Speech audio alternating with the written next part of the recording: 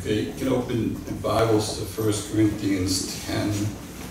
I'm going to jump around today, but we'll be there mostly. 1 Corinthians chapter 10. I talked today about an interesting subject. Um, because I want to um, I want to go a little deeper with it than what you normally hear on it. Uh, but we'll start with what maybe you normally hear on it, and then go a little deeper. But, um, the subject is temptation, and um, the Bible has a lot to say on it. It has uh, many different meanings in the Word of God. Um, it can be confusing because in one part we read uh, that God cannot be tempted, and in another part we read that Christ was tempted. And you say, well, what does that mean? That's, that's so confusing. And um, God himself says that he tempts no man. And then in another part it says that he tempted men. And so uh, we have to look a little deeper at the meanings, and so we come up with different meanings for the word temptation. Uh, to be drawn away, to be enticed, um, to fall into, to uh, be led astray, uh, to lure, um, to be tried is a word for temptation. The trying of your faith is called a temptation. And so uh, I have a thought in my mind about it that I want to uh, get into. Um, so um, these verses in 1 Corinthians 10 are dealing with it. So just follow along and, uh, and we'll go from there. 1 Corinthians 10, verse 7 says, Neither be ye idolaters, as were some of them. When it refers to some of them there, it's talking about the children of Israel in the wilderness. Um, as were some of them, as it is written, the people sat down to eat, to drink, and rose up to play. When did they do that? They did that when Moses was up in the mountain for too long, they thought, getting the Ten Commandments, fellowshipping with God. Didn't come down, and they got weary, they didn't know what happened to them. They said, uh, Make us an idol to Aaron. And uh, it's an interesting story to read. Aaron uh, tells him, give me all your earrings, and he melts it down and, and he, he forms a calf, which was a god of Egypt, where they just came out of.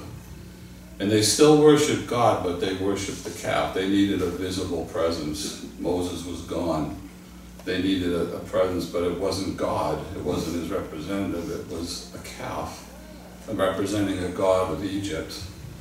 And they began to have a feast, sacrificing to God, but also worshiping the calf as a representation of God. Remember, they just came out of Egypt. They didn't. They didn't have this sound doctrine in their soul.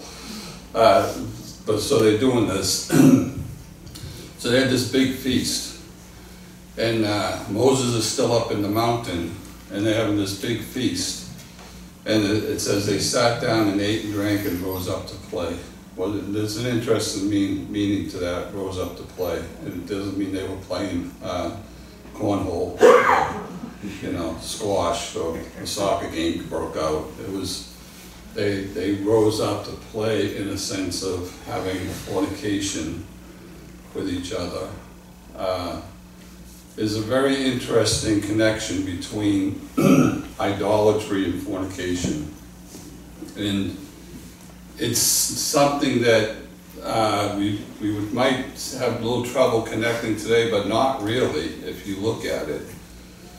Uh, what is uh, fornication, sex outside of marriage, or any sexual impurity uh, outside of the marriage institution? Um, today we see sexual immorality everywhere, everywhere. and it's so uh, thrown in our face on TV, entertainment, Hollywood.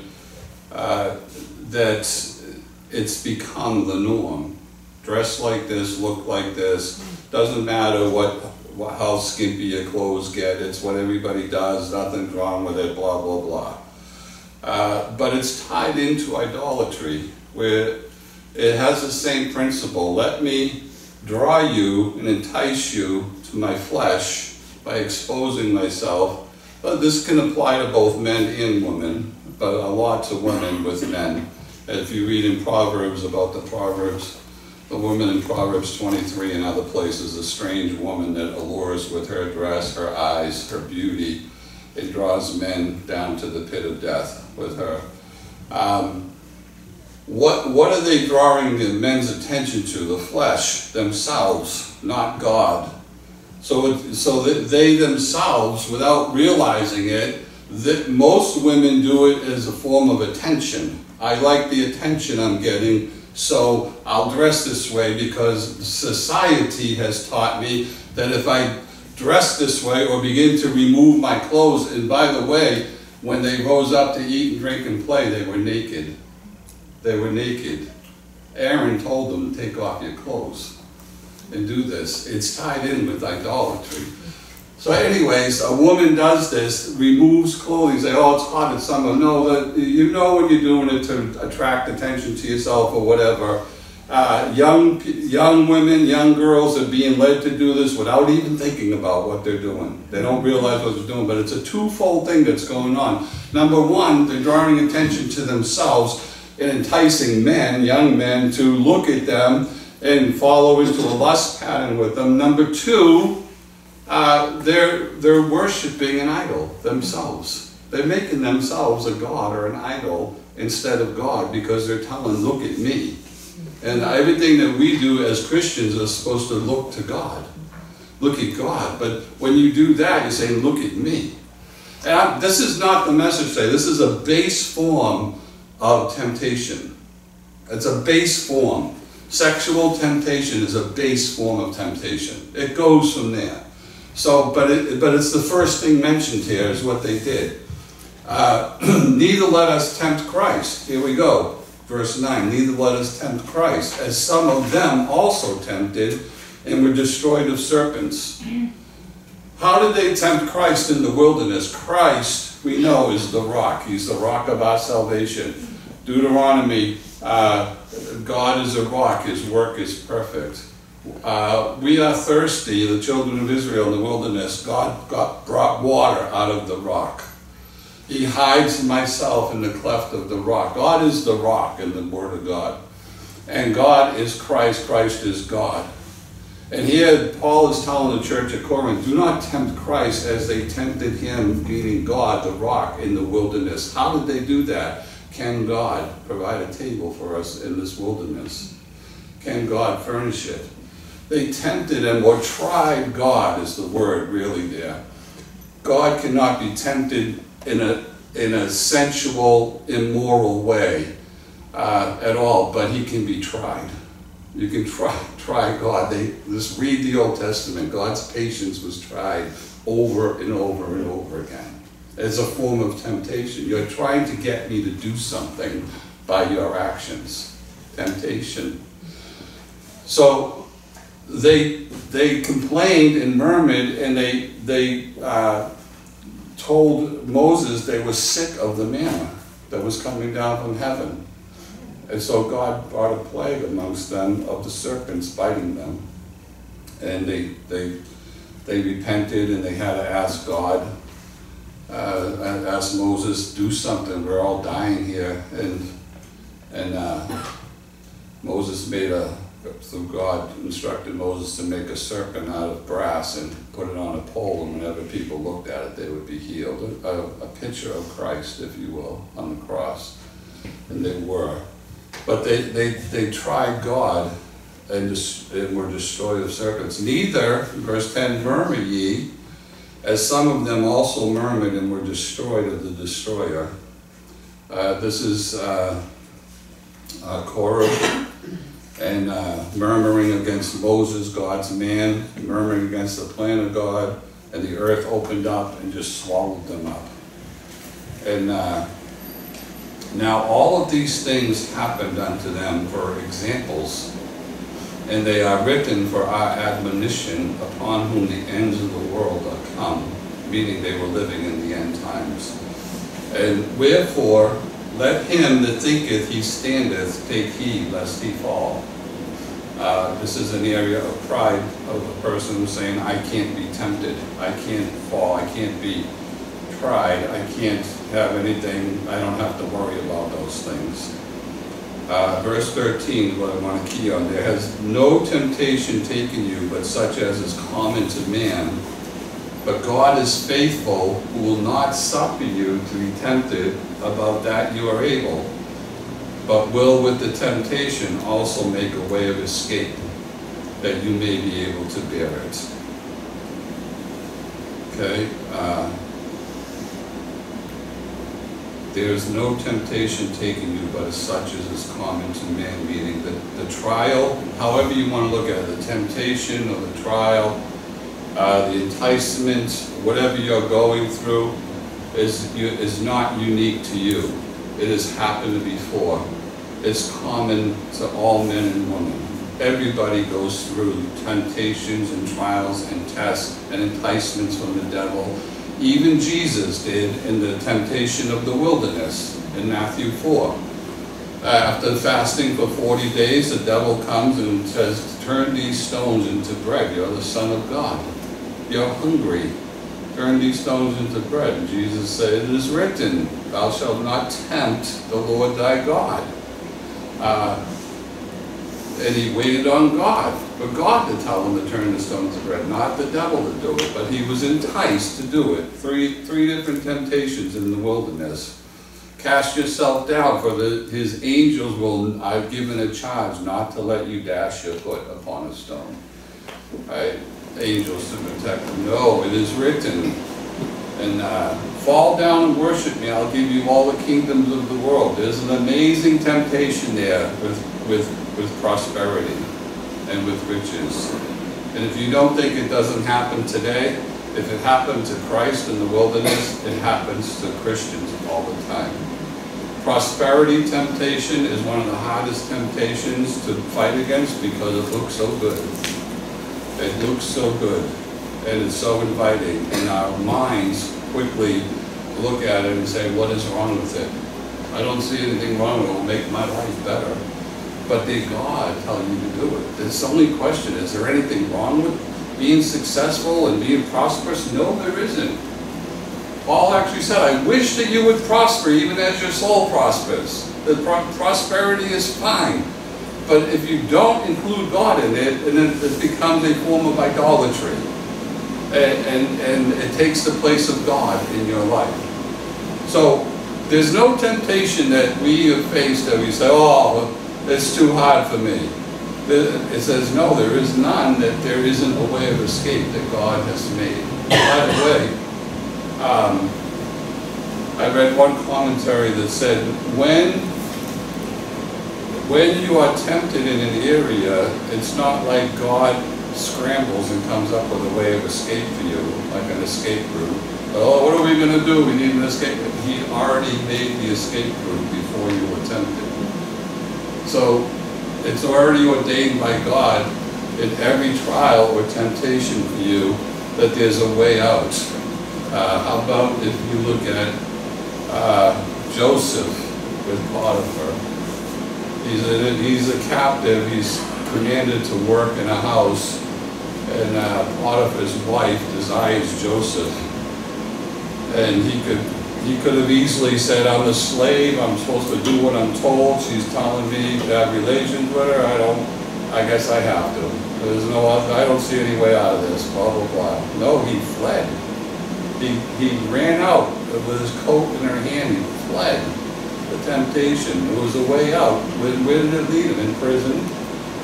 But that was, that was the plan of God. If you look at it all down the, the line, to where Joseph, even being sold into slavery by his brothers and then going into jail because he fled temptation, could have easily said, I don't understand the plan of God here. I don't understand. I did the right thing and here I am in jail.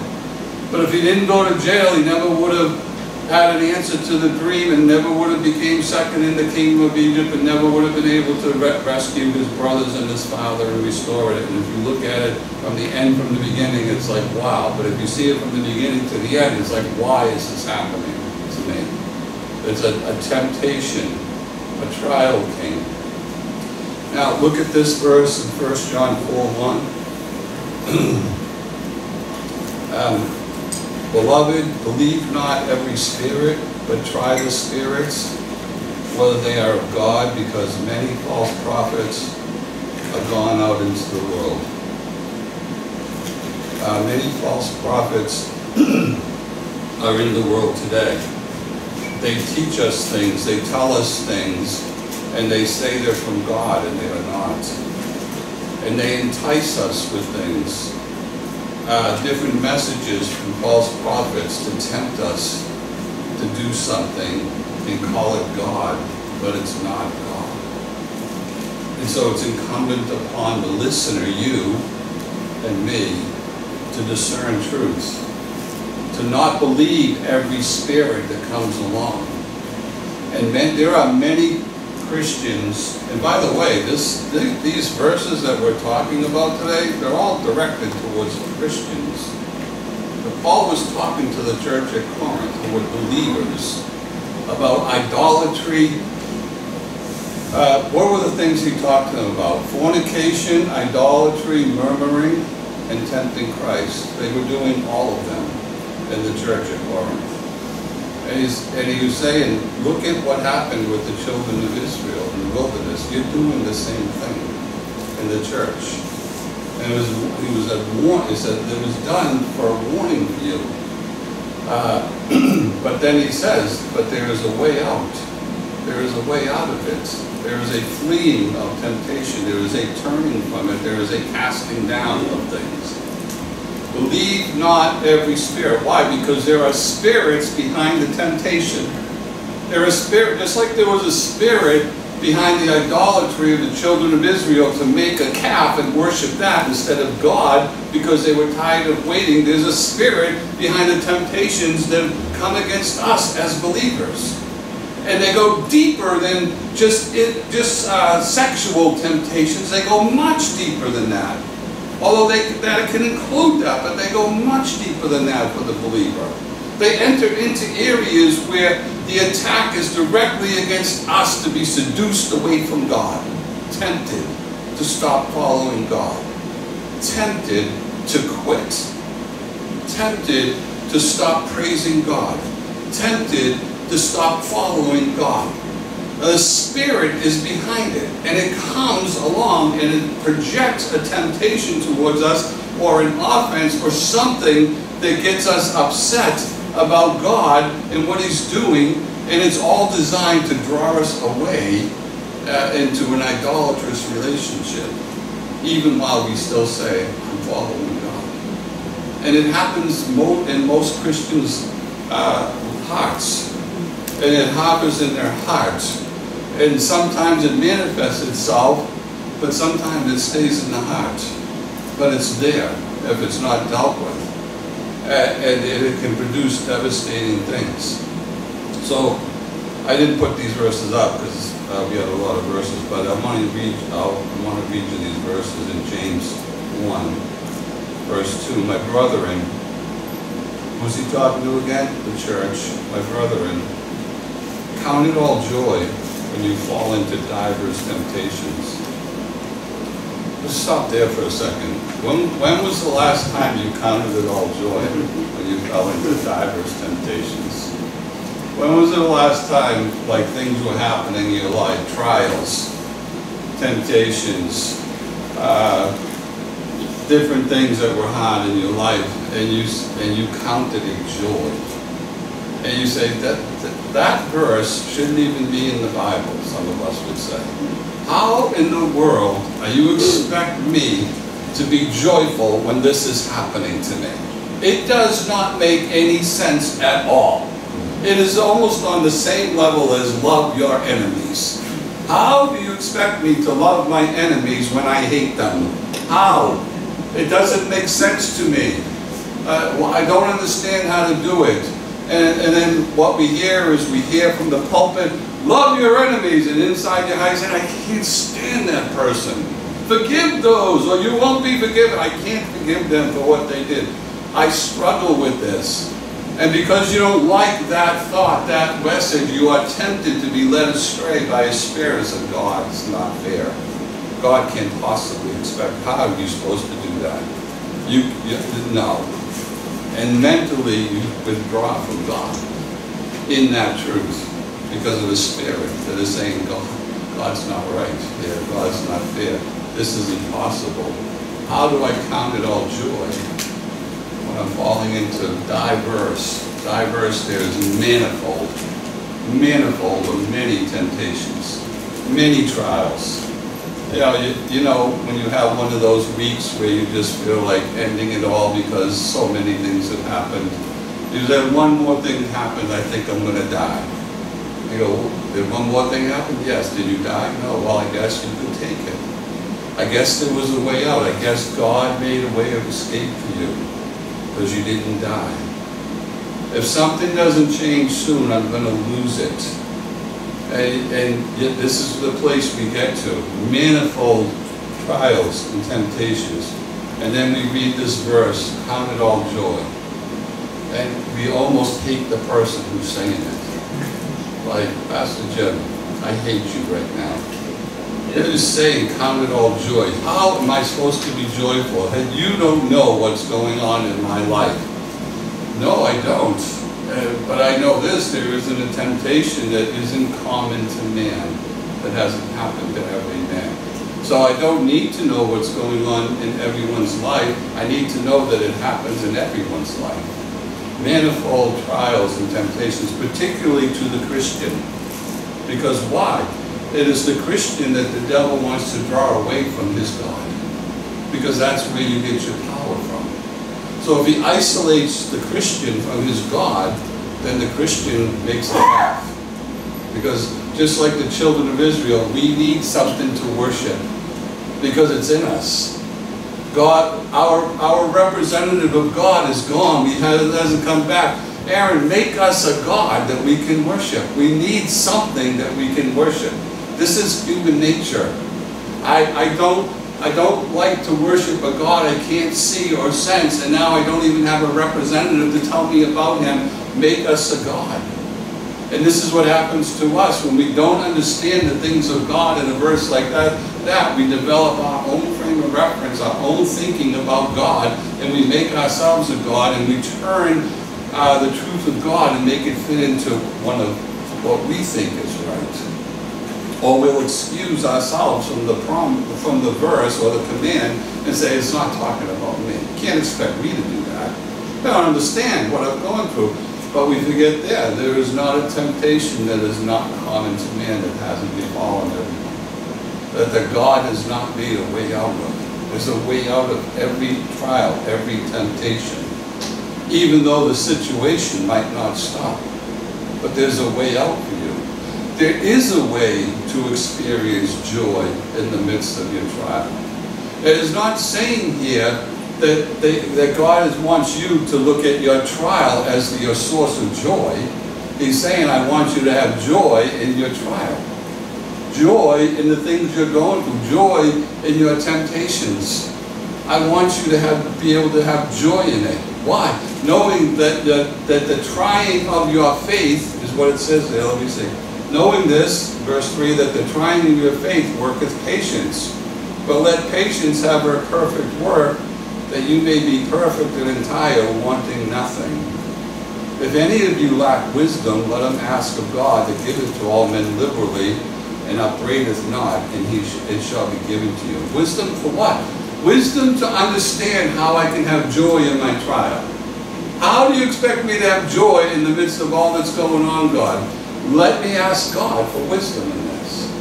Let me ask, but this is where many people stop. They don't want it. They don't. They don't ask God. They look at uh, uh, it's a trial. I hate it. How am I supposed to have joy? I can't. Uh, God's not fair here. I don't understand it. So we avoid reading those verses altogether. And then when it's brought up in a message like this, I don't like the message. I like the message today. I already tuned you out. I'm already at the beach. I'm already here and there. When's the message going to be over? What did he say? Something about joy? I don't know. Uh, when I have a mindset that says every single thing that happens to me, like Romans 8:28, all things work together for good to those who love God and are called according to his purpose. That's a conditional promise, by the way. It doesn't work good for everyone. It works good to those who love God and are called according to his purpose. Who is that? The body of Christ. So everybody else that's not a member of the body of Christ, I promise you can't say it to them. Don't say it to them. I said people are going through stuff, they're not even saved, and they say, oh, but you know what, everything's going to work together good. No, it's not. Not for you. No, it's not.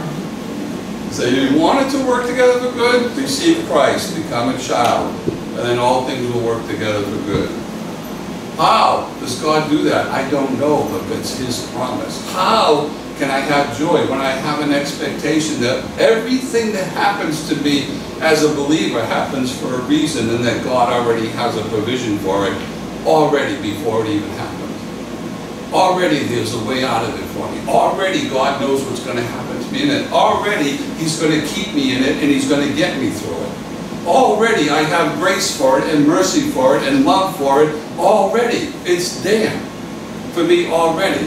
Instead of looking at the horribleness of the trial, and many trials can be horrible, I'm not diminishing it, but we need to look at the one who's greater than the trial and above the trial and has made a provision for me to get through the trial. And what do I need? Patience. Let patience have her perfect work. And what is patience? Waiting on God. I'm waiting on God. I'm not looking at the trial and how horrible it is. I don't like it, but I know God has a plan in it, and He's going to get me through it, and He's made a way out of it for me. And if the trial is a temptation that's trying to entice me in the form of immorality or sexuality, guess what I can do? Flee. The Bible already tells me what to do. I don't have to wait for God to tell me to do it. It already says, flee fornication. Flee it. Run away from it.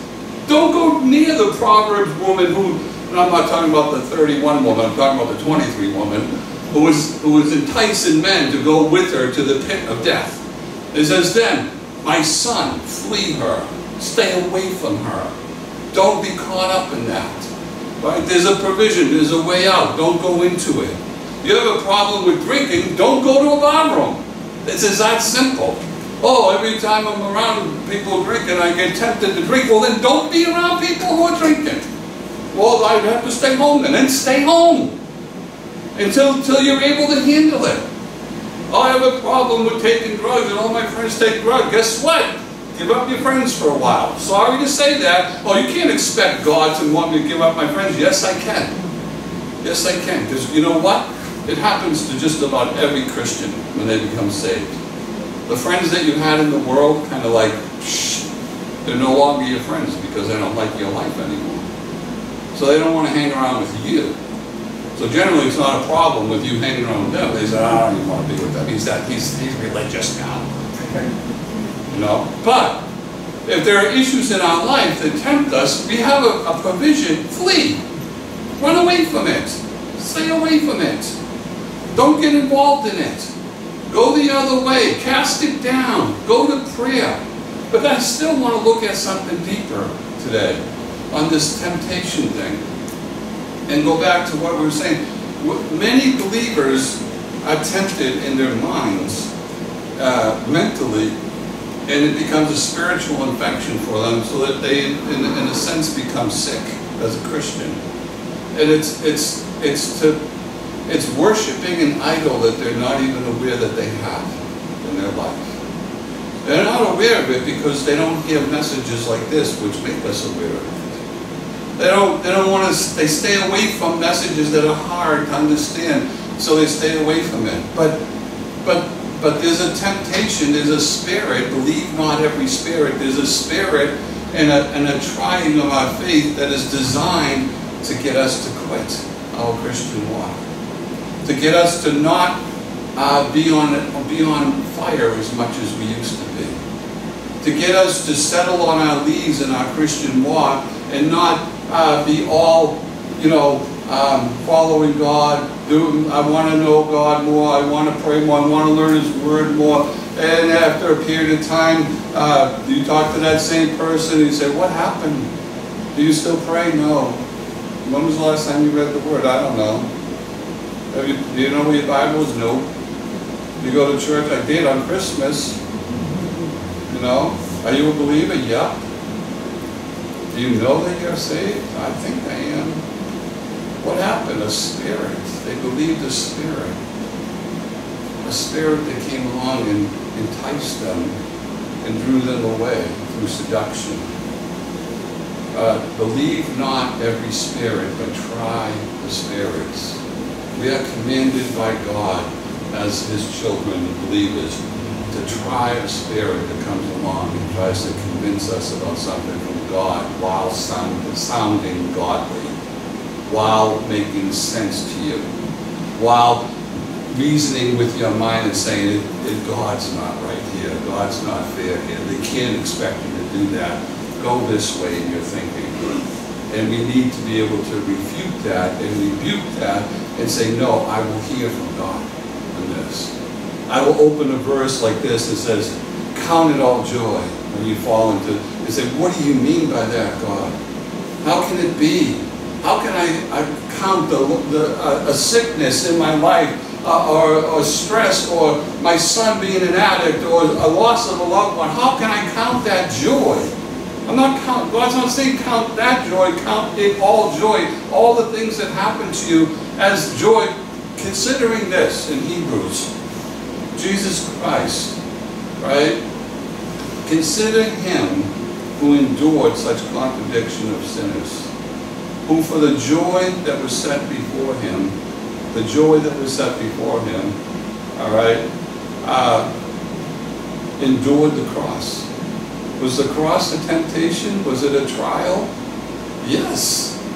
Did he give himself over to God's will in it? Yes. Was it the plan of God? Yes. Was it a pleasant thing to behold and look at and consider? No. Imagine Jesus living as a human, trusting God, but seeing crucifixions left and right as he walked through the, the, uh, the providences all the time. Romans were crucifying people all the time. He knew what was going to happen to him. And, and maybe he heard this same word that he said, and to count it all joy. Uh, you want me to count that joy? How am I supposed to count that joy? No, count. He, he endured it. He endured the trial. He endured it for the joy that was set before him. What was the joy that was set before him? When you endure the cross, and you go through the cross, when you come out the other side, you'll be sitting at my right hand forevermore. There is a provision and a promise and a plan in the trial and in the temptation for you to have uh, a closer relationship with God, a stronger relationship with God, and a reward from God uh, for enduring the temptation. And then so that, that is what we count joy.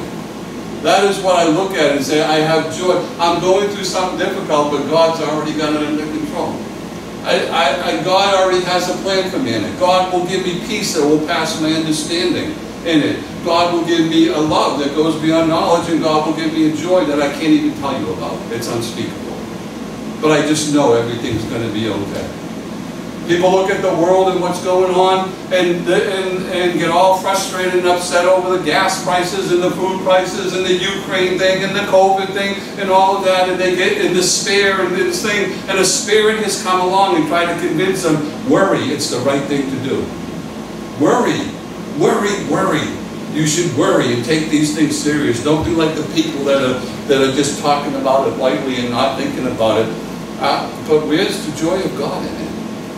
Where is the joy of God in all of that? Is there a joy in God as we go through all these things? Yes, there is.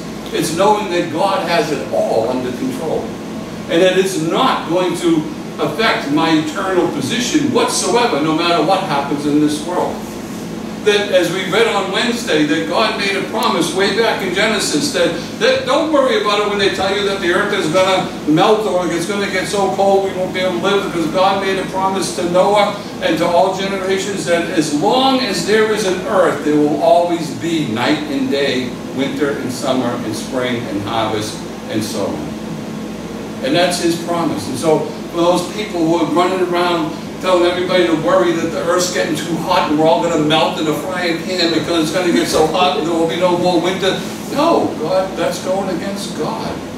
It's believing the spirit that on the surface makes sense, but in reality, according to what God says, it's an idolatrous thought. It's exalting a thought above the knowledge of God. And that's a temptation to draw you away from God.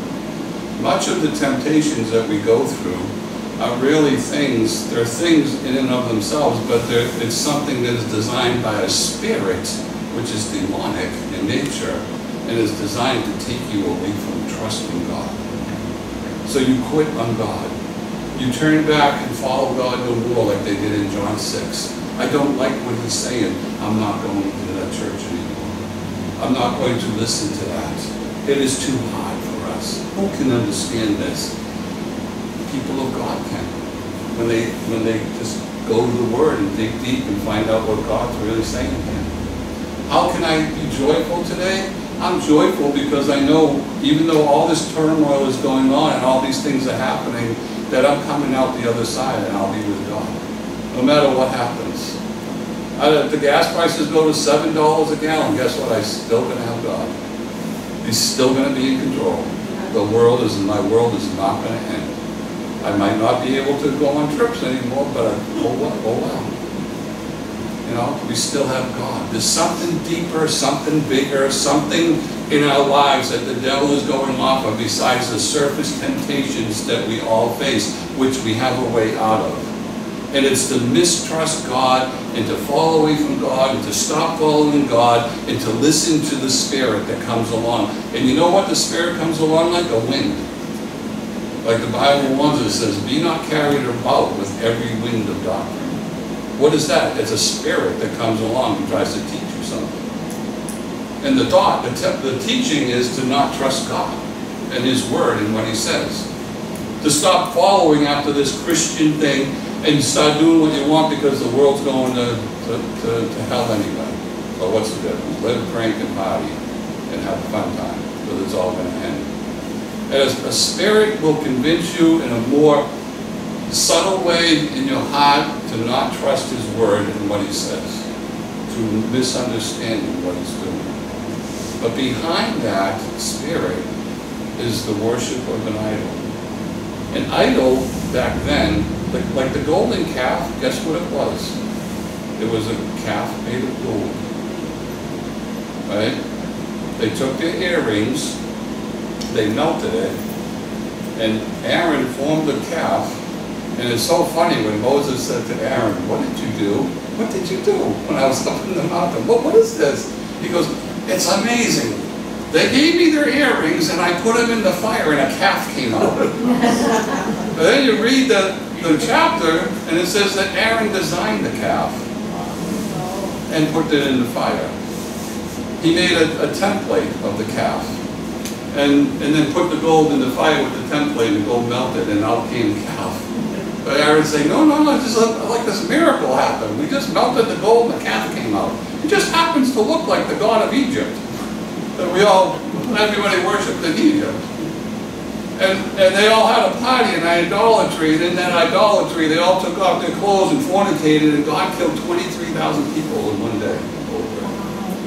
Because there, there was a wage to pay for it. He wanted to destroy all of them. And Moses interceded for him, and ended up 23,000 who refused to obey Moses when he said, stop doing this. There were those that said, no, we will not stop. There's a story of a man who right in front of Moses took a woman and started fornicating with her right in front of him. And, and they and, and uh, Aaron's grandson went in with his sword and just killed them both instantly. And God rewarded him for it, but he recognized what they're doing is they're they're assaulting God in His holiness through committing fornication to an idol in front of an idol. So idolatry and fornication are really tied together, and it's the same spirit that's in the world today, by the way. Uh, and be careful of that. We need to teach our young people about what is happening when, when the world is promoting uh, promiscuity and immorality and saying it's fine. It feels good, do it. Dress the way you want. Expose yourself however you want. You're not hurting anybody. And it's hot and all of that. You are worshiping an idol. And that idol many times is yourself. Because you're drawing attention to yourself instead of God. and that's idol worship. And most people don't even realize it. But it is. And God takes it seriously. And there's a way out of all of that. There's a way out of every temptation and trial that we face in this world as Christians. God has a strength for us. He has a provision for us. So we cannot say, like some people say, and maybe if you've said it before, there's, there's no condemnation. Uh, you know, like the devil made me do it, or I couldn't help myself because after all, that's what I am. I can't help it. I'm tempted, I couldn't help it, so I ate it. Somebody put a whole bag of Oreos in front of me, I couldn't help it. I ate every one of them. What am I supposed to do? I like Oreos. I flee from the Oreos. Throw them away. Don't go to the store and buy Oreos. But we have a, we have an option. We have that choice. We don't have to sit there and say it. So you say, don't buy Oreos anymore. Mm. I've, I've a weakness of mine. Okay. So there's no Oreos in the house. Guess what? I can't eat the Oreos. Flee it. Flee it. And recognize that I could have a weakness and don't be like the ones who say, oh, I'm strong. Nothing can happen to me. Recognize it and stay away from it.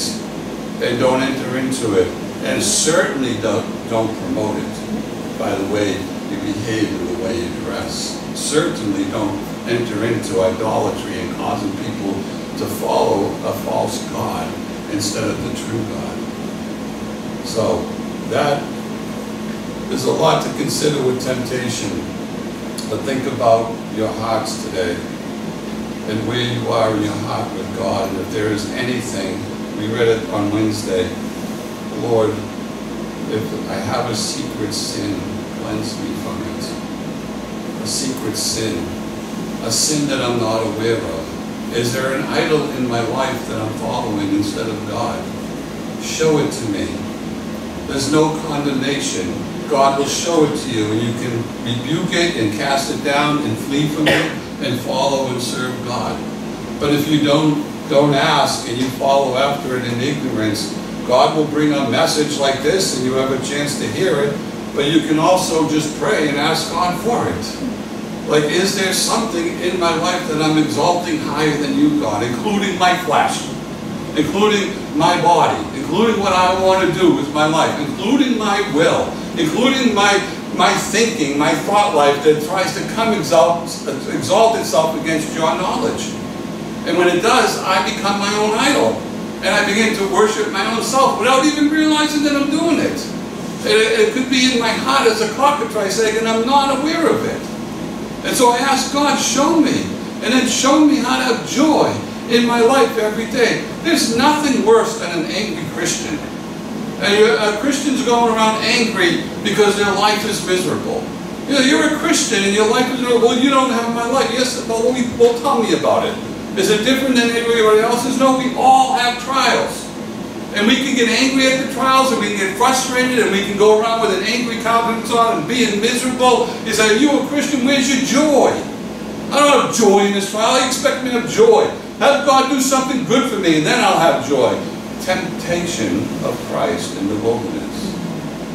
I'm sick of this manna. Have God bring me meat and then I'll worship instead of trusting God for the manna that they had to eat and thanking Him that they were out of bondage for 400 years. The perspective of the heart of man is what God looks at.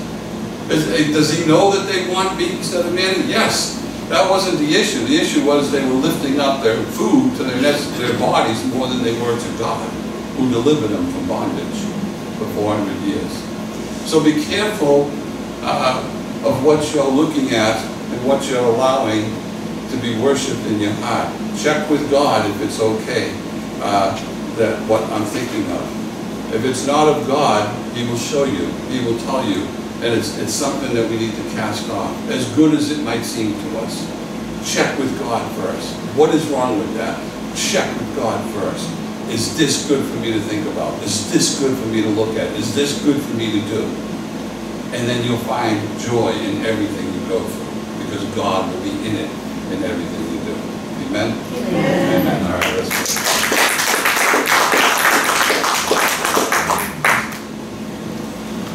Oh, Father, we, uh,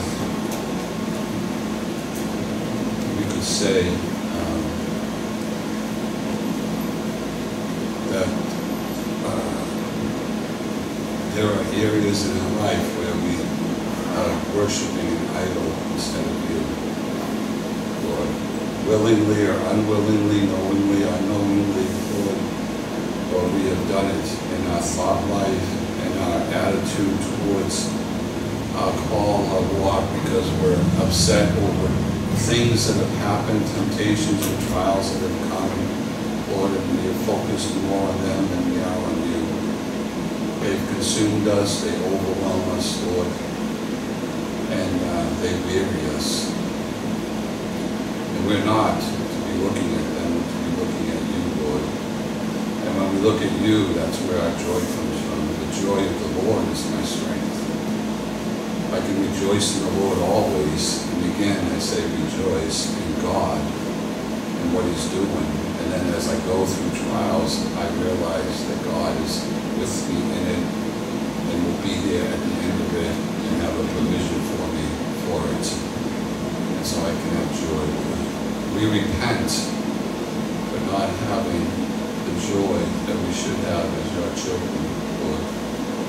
And we would ask for it to be restored in our hearts as David did. Restore unto me the joy of my salvation. The joy of our salvation should be above anything else we go through in life.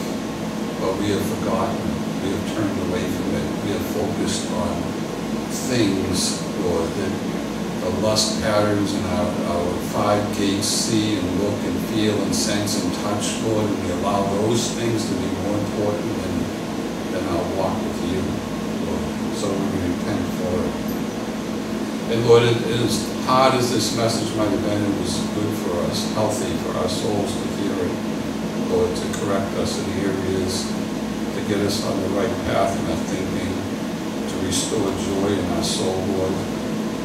I want to be Christians who have a, a sour countenance and a sad uh, outlook on our lives, Lord. We have, we have all the hope in the world in you, Lord. Let us rejoice and be glad. This is the day that you have made. Let us rejoice and be glad in it. As hard as things might be in it, you can still rejoice in it, Lord.